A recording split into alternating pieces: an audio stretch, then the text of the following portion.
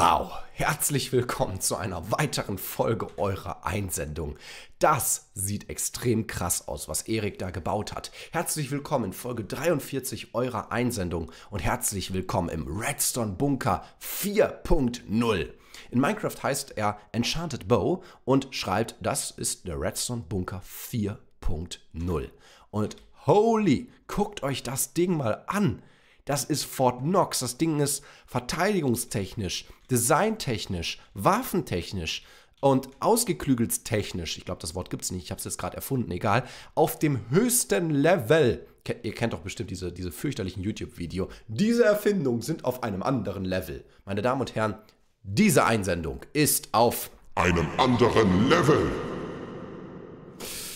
Lasst uns aber erstmal ganz normal und ganz ruhig und gesittet beginnen. Bauzeit 1,79 Tage, das sieht man. Das sieht man, das merkt man und ich freue mich, mir diese Einsendung angucken zu können. So, ist das der Erbauer? Ja, Enchanted Bow. Hallo, meine Damen und Herren. Äh, warte, wo war doch mal mein wunderschöner Sohn? Hallo, schöne Grüße vom Erbauer. Viel Spaß in dieser Einsendung. Gut. Dann lasst uns die Einsendung mal angucken. Also, bitte lesen. Hallo The Joecraft und andere. Ich entschuldige mich schon mal für meine Rechtschreibfehler. Kein Problem. Ich habe einen Bunker gebaut mit dem Nötigsten zum Überleben. Das Nötigste zum Überleben in einer Zombie-Apokalypse. Okay, gut für ein Server-Rollenspiel. Regeln nicht als seinen eigenen ausgeben, nichts abbauen außer farmen.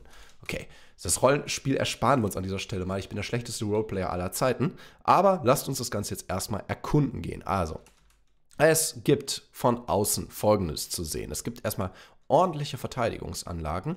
Wir haben auch Techniken, die sich bei Nacht einschalten. Der ganze Berg ist nochmal extra gestützt. Schaut euch das an. Es gibt eine Stützstruktur, die diesen Berg stützt, sodass dieser Berg, selbst wenn nun da tatsächlich äh, ne, irgendwas draufgeschossen wird, würde man es, glaube ich, tatsächlich hier überleben. So, und es sieht auch noch so aus, als ob das alles richtig krass designt ist. So, hier sind überall Redstone-Fackeln drunter. Warum? Damit das zu ist, okay. Dann gucken wir mal. Es gibt ein großes Garagentor und es gibt ein Wassertor und es gibt ein Eingangstor und es gibt hier noch einen Weg nach unten. So, dann fangen wir mal einfach mal straight, gehen wir straight durch das Eingangstor. Das hier scheint der Eingang zu sein und wir werfen den Key ein.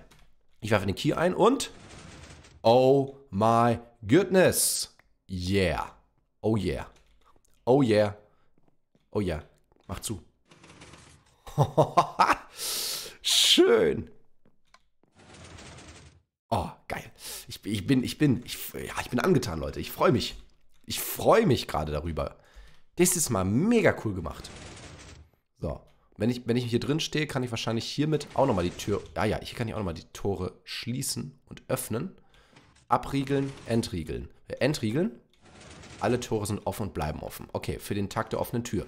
Ist heute nicht. Tore schließen sich. Sieht krass aus. Respekt. So, wir befinden uns in einer Lobby. Im Eingangsbereich, es gibt Tageslicht, was hier reinleuchtet. Und wir schauen uns mal ein wenig um. Es gibt einen Schalter. Macht der etwas? Äh. Warte mal. Ah, der, der Schalter weiß ich jetzt noch nicht genau, welche Rolle den Schalter hier einnimmt. Aber ich glaube, es hat was damit zu tun, dass hier das rote Glas kaputt gemacht werden kann. Oder ist das nur ein kleiner Einblick in die Technik? Vielleicht, wenn man das rote Glas kaputt macht, dann...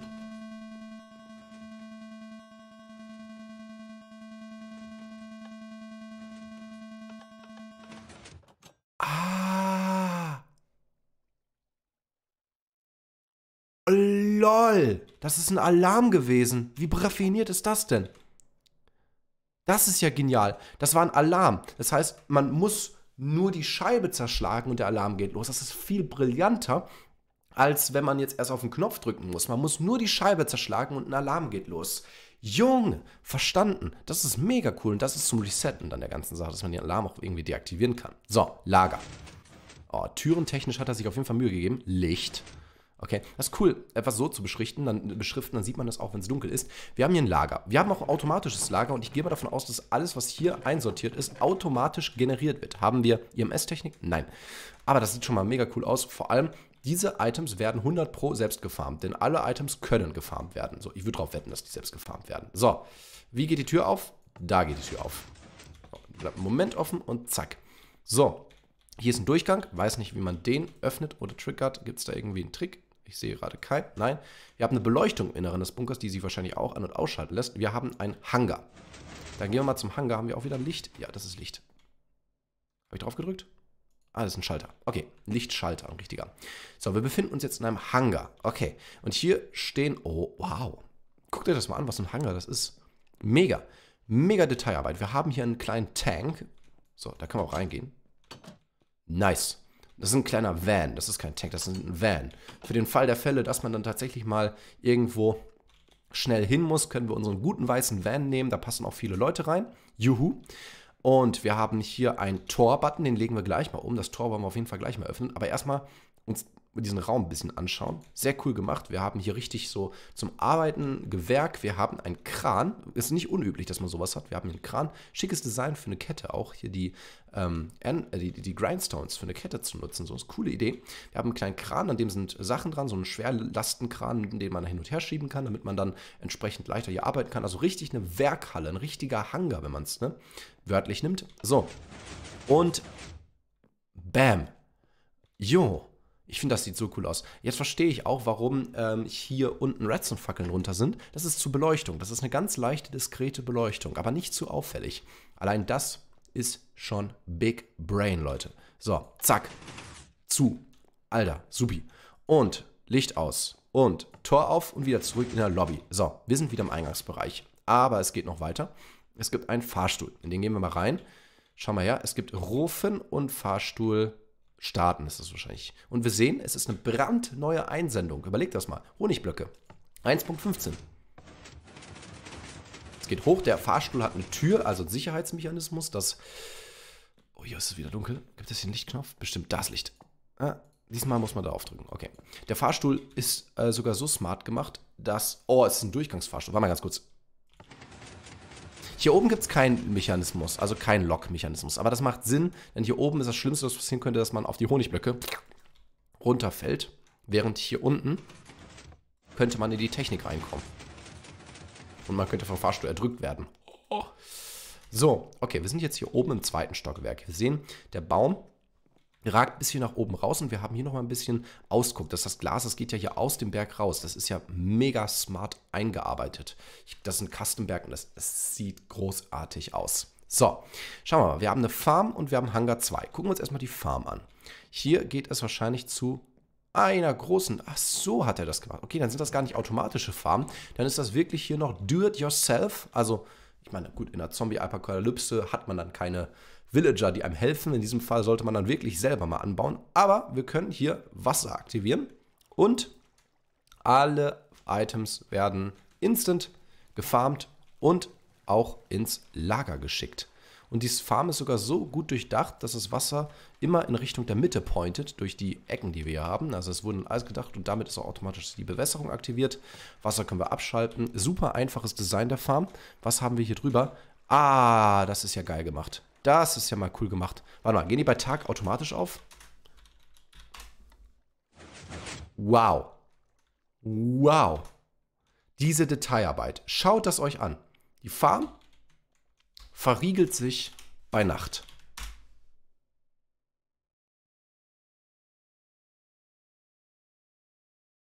Oder? Tut sie nicht? Jetzt verriegelt sie. Okay, es hätte ein bisschen später sein müssen. Muss ein bisschen warten. Okay, bei Nacht verriegelt sich die und bei Tag öffnet sie sich die. Ach, du große Neune. Ist das gut durchdacht? Ich bin gerade sehr geflasht von dieser Einsendung. Die ist designtechnisch und auch Redstone-technisch auf einem sehr, sehr, sehr hohen Level. Diese Einsendung ist auf einem anderen Level. So, wir haben Signallicht, wir haben Wasser an und so. Dann gibt es aber erstmal hier einen Lichtschalter. Wo ist der Lichtschalter? Auf zu. Ist das Licht? Licht, okay. Cool, das ist der zweite Hangar. Hier gibt es ein Düsenfahrzeug, ein, ein, ein Flugzeug in diesem Fall.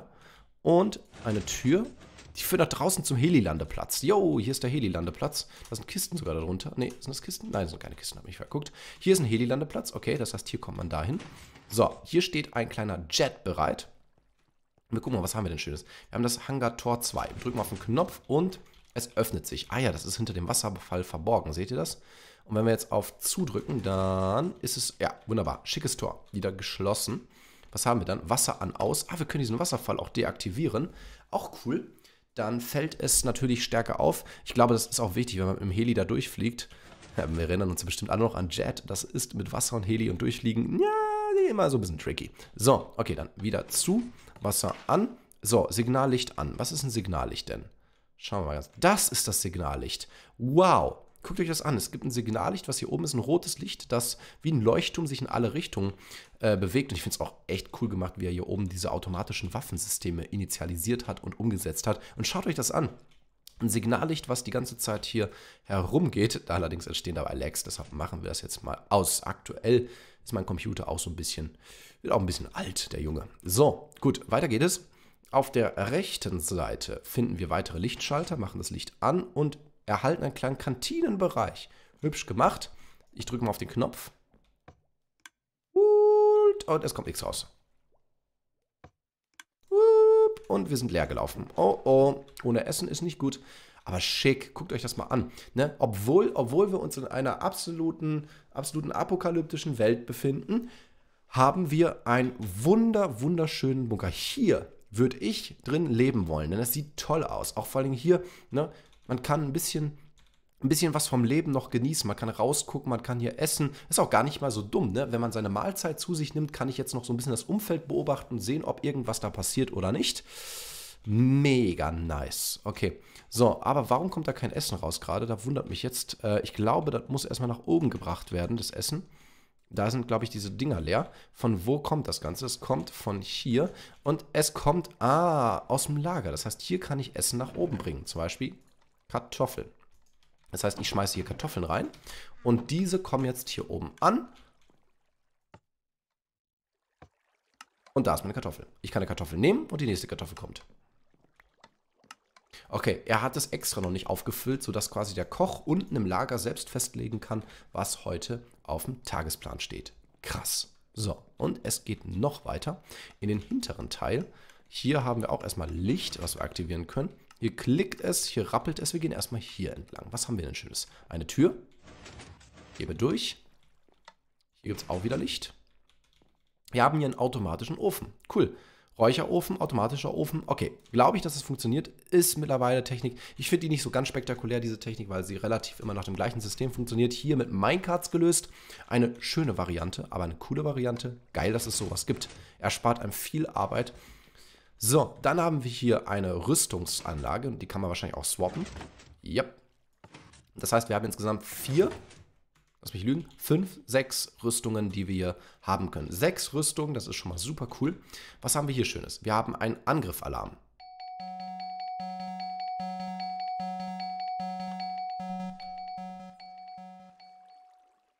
Cool.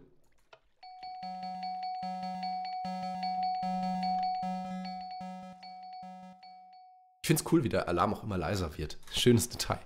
So, was haben wir denn hier? Hier haben wir einen Allgemeinalarm. Okay, was haben wir noch Schönes? Wir haben das Stalltor. Ach, es gibt, ach das, ah, jetzt weiß ich, was los ist. Mhm. Stalltor. Das machen wir gleich wieder zu. Hier ist eine allgemeine Steuerung, das machen wir sofort. Lass uns erstmal den Stall angucken gehen. Hier ist wieder Licht, okay, gut, gut. Das ist der Stall wahrscheinlich, ne? Genau, hier unten ist Entriegeln. Abriegeln. Abriegeln. Okay, okay. Was ist das hier? Ist das ein Fahrstuhl? Moment, ist das ein Fahrstuhl für Pferde? Halleluja. Nein. Sag was. Steht da? Fahrstuhl. Fahrstuhl.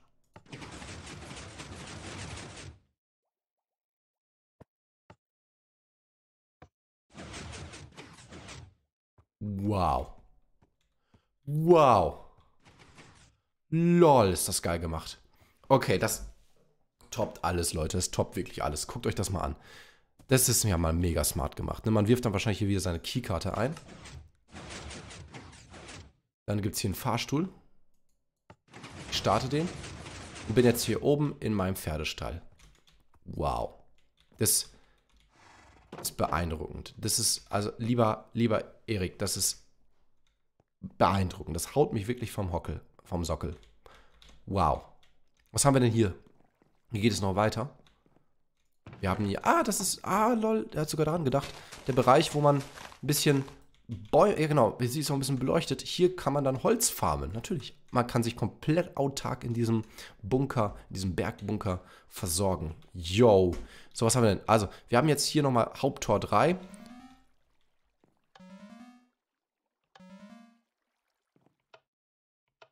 Okay, das heißt, hier können wir die Tore nochmal auf und zu machen.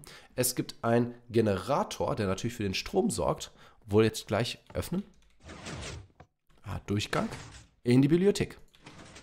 Eine Bibliothek gibt es. Und ein Verzauberungsraum. Nice. Auch das Detail, dass der sich abschaltet. Ihr seht, wenn das Licht angeht, schaltet sich der Verzauberungsraum an. Und jetzt erst fliegen auch die Buchstaben da rein. Wow. Das ist so lit, ehrlich, diese Einsendung ist so cool. Okay, jetzt bin ich mal gespannt. An. Da ist ein Command-Block, der muss natürlich, glaube ich, da sein. Start. Ja.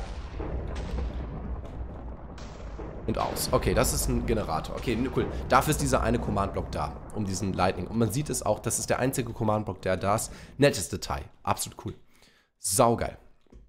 So, äh, aber das war es noch nicht. Das haben wir uns, glaube ich, hier schon angeguckt. Hier geht es noch weiter, denn hier haben wir noch einen Bereich, bei dem man, glaube ich, den Admin einwerfen muss. Und das ist der, wahrscheinlich der Admin-Bereich. Ja, das bestgestützte, das bestgestützte von allem. Es ist ein Zimmer, in dem man sich nochmal richtig hinlegen kann, in dem man auch nochmal so richtig geschützt ist. Ohne die Keykarte passiert hier nichts. Man kann durch die Türen auch noch durchgucken und damit haben wir ihn.